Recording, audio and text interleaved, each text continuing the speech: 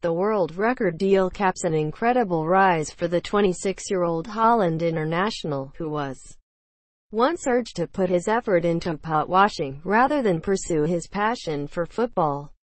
For Virgil van Dijk, the path to becoming the world's most expensive defender was one littered with pots and pans, as well as pesky strikers. The world record deal caps an incredible rise for the defender, who was once urged to put his effort into pot washing, rather than football. The 26-year-old worked in the kitchen of the Oncle Jean restaurant in his native Breda in Holland, where owner Jacques Lips encouraged him to give up his dream. After work, his dad always used to pick him up. I would often tell him he should wash more pots and stop trying to become a professional player. Lips has never given up on hopes of luring Van Dijk back to the kitchen. However, revealing